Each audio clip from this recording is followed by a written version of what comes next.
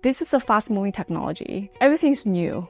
How fast you pick up, how fast you're a learner, how determined you are problem solver, that makes a huge difference.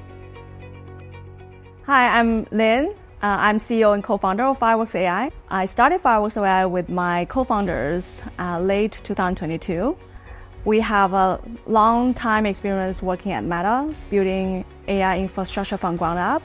Uh, we work with many companies in the industry and uh, experience their pain going through this AI first transition without a team like us, without the know-how, without proper hardware, without the so- right software and tools. Today, we're processing more than 150 billion tokens per day and generating more than 1 million images per day. From the funding point of view, we have uh, raised first round from Benchmark, 25 million, and then recently, we just closed a round led by Sequoia uh, with 52 million investment and post money 552 as the valuation. So our valuation grew by uh, four times.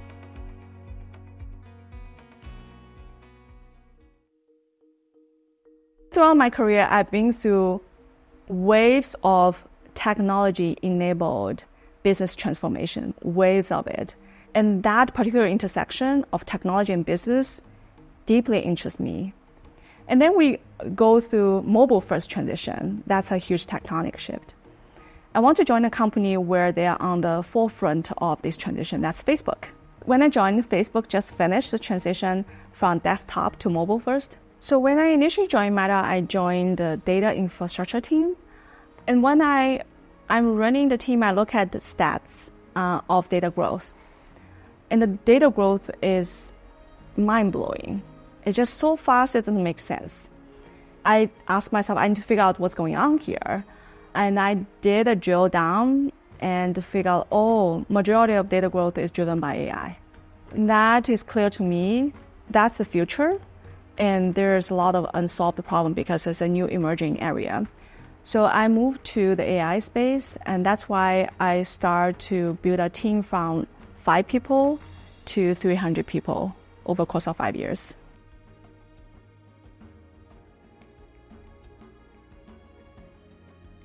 So PyTorch is very widely adopted. For example, many of us um, use Netflix or other streaming media. The content on Netflix is heavily personalized. Many of those ranking recognition models are PyTorch models. PyTorch has been heavily used in robotics, self-driving cars, almost all self-driving car companies use PyTorch, including Tesla.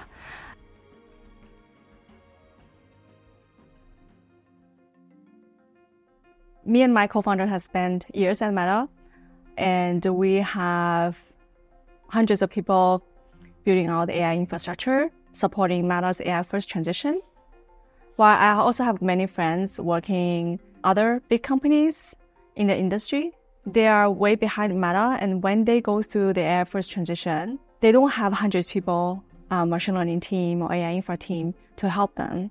So our mission of starting Fireworks AI is to enable new business to flourish, building on top of this innovative Gen AI technology without 100 people, machine learning engineering team and infrastructure team. Generative AI is very big. The model is very large. Uh, it's just very slow to run these models. So not having very low latency and fast response makes that product not appealing at all. So we know this is a big pain point. Another big pain point is the generative AI model is so big and they have to run on GPU and they have to acquire a lot of GPU and GPU is so expensive. Uh, if they're lucky to get the GPU, it's uh, it, they have never seen such a big bill before. So we design our software stack to minimize your GPU needs to solve your problem. and that way, it significantly control the cost, operation cost for the company. So then our customer has will have a viable business when they scale quickly to 10x, 100x, 1000x more customers. Within the past half a year, our traffic grew by 100 times. Today, we're processing more than 150 billion tokens per day and generating more than 1 million images per day. There are a few key things about startups. One is do not work on incremental work. Do not pick on incremental things. It's human nature to work on projects that we know we can deliver. But it's not for startups. Startups are pushing for 10x.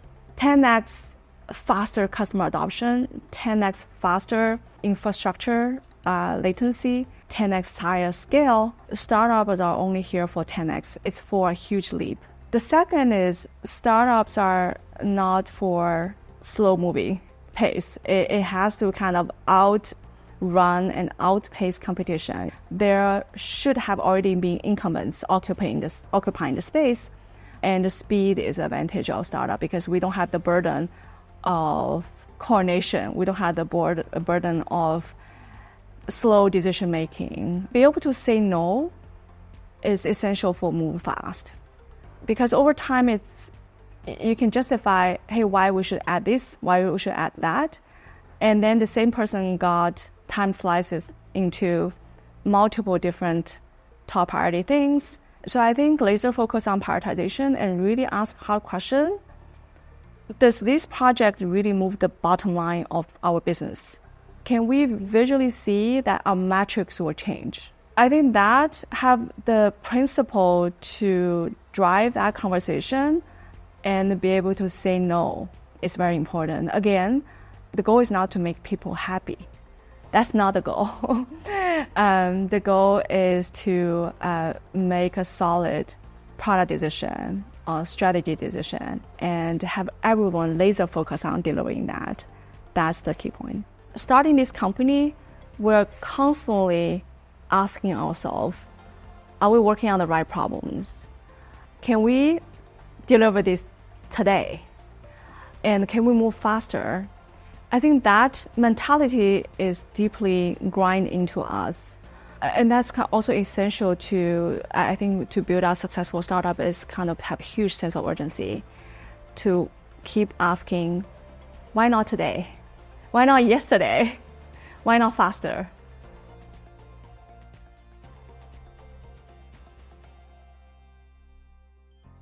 2023 has been a year where we laser focus on large language model with text in, text out. Um, this year and beyond, that will not be sufficient because a lot of business tasks will emulate what's happening in real life.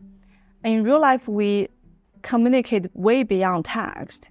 We speak and uh, we use visual to collect signals. Um, so that's where we have to expand beyond large language model into models who understand images, who can generate images, who understand audio, who can generate audio. And I firmly believe the direction for the industry to move forward to is to into multimodality. And today on our platform, we already serve more than 100 models across all these modality from large language model to audio models to image generation models. We have a very broad uh, variety of modality for our customer to pick and choose from. With that said, that's still not enough because every single model has limited knowledge. And the fundamental reason is those models are like child in the school. They learn from textbook and those Gen AI models learn from training data. And training data is finite, it's not infinite. If you ask the question, uh, it will have to give you an answer in a probabilistic way. When it goes out of its knowledge, it's going to hallucinate. So that hallucination is a big problem for application developers. And the way to address that is to let each model focus on its specialty. Only answer questions when it's good at. And we are building a power routing layer. It's called function calling. So we have our proprietary knowledge to to figure out which specialty model to route into to give the best answer. It does not just route into different models, different modality. It can also route into APIs. APIs could be search, could be weather, could be stock price, could be many other things. So then this model is able to pull together the totality of knowledge to give the best answer to, to our users. This is the form and shape of compound AI system. And Fireworks is growing into and building into our next generation compound AI systems. Very simple aptitude. It's not about experience. I actually prefer aptitude over experience. I need to see the fire in the belly, uh, super hungry, super motivated. That trumps anything else. Because this is a fast moving technology. Everything's new. How fast you pick up, how fast you're a learner, how determined you are a problem solver, that makes a huge difference. In the early stage of my career, I have this deep imposter syndrome, so I think a lot. uh, it's actually a way of self reflection. And I, I constantly think about what I can do better, how I can do things differently. But later on becomes a habit. It, it just, when we take some action, we do things, I will observe hey, is this going as I expected? And if it's different, then why it's different and how we can be more efficient? And what are the small changes or big changes we can introduce to the process, to the way we do things to, to be better, to move faster. So, and then I share my thoughts with my team. Sometimes I will ask them, hey, what do you think? Um, how this is going, what we can do differently. So just kind of build this muscle over time. We just think together as, um, as, and as a team, um, to, to kind of always, there's always room to improve.